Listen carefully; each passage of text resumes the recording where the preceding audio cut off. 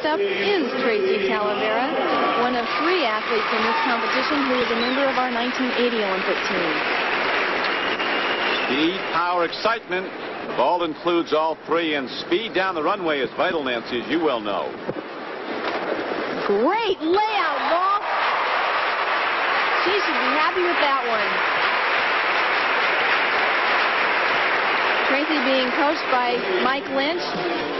The slow-mo replay, Tracee, as I said, has always been an innovator. The first one in our country to perform this vault, and she does it well. Tracee Talavera with a 9.65 score ready for her second vault attempt. And that's with a full twist. She adds difficulty. The difference about the final competition is that the athletes have to perform two different vaults, and both scores are averaged together. Adding the full twist adds difficulty.